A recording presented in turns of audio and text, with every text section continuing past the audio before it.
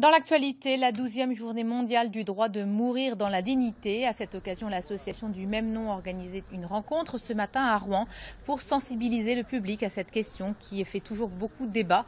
Je vous propose d'écouter l'un des participants, référent départemental de l'ADM 76 au micro de Maxime Fourier. On est très en retard pour des tas de raisons. Euh, voilà, les, lobbies religieux, les mentalités qu'il est euh, assez difficile de mobiliser et de changer sur ces sujets-là. Euh, il faut savoir quand même qu'il y a plus de 90% des Français qui sont favorables à une loi sur l'euthanasie. Donc les mentalités, heureusement, évoluent.